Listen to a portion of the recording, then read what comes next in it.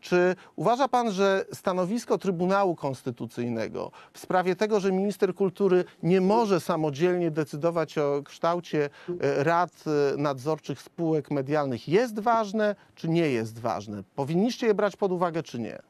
Wie pan, no to jest cała dyskusja o tym, na ile wiążące są e, decyzje Trybunału Konstytucyjnego, No bo są, poja dyskusję? pojawia się kwestia na przykład obsadzenia tego Trybunału, pojawia się kwestia tak zwanych sędziów dublerów. No ja mogę panu powiedzieć No tak, rozumiem, czyli gdyby tych kwestii nie było, to orzeczenie byłoby ostateczne i obowiązujące, gdyby nie te kwestie, o których pan gdyby powiedział, tych tak? kwestii nie było, to, ostatecznie to orzeczenie byłoby obowiązujące. To ja pana tak. informuję, że orzeczenie o tej treści wydał Trybunał Konstytucyjny z Andrzejem Colem w 1995 roku, a więc cieszę się, że pan przyznał, że jest ostatecznie obowiązujące, konstytucyjne i znaczy, ja minister powiedział kultury Bartłomiej Sienkiewicz nie miał prawa podjąć takich Znaczy, decyzji. jeżeli, Ja- jeżeli ja, ja o tym nie wiedziałem, że jest orzeczenie pana To już pan e, wie. profesora Cola jako prezesa Telewizja Republika zawsze Konstytucyjnego. Jeśli jest rzeczywiście tak, jak pan mówi, to rzeczywiście wtedy jest kłopot prawny. potwierdzam. 1995 rok, tego rodzaju decyzja i pytanie, które zadane zostało przez y, kończącego swoją ówczesną kadencję prezydenta Lecha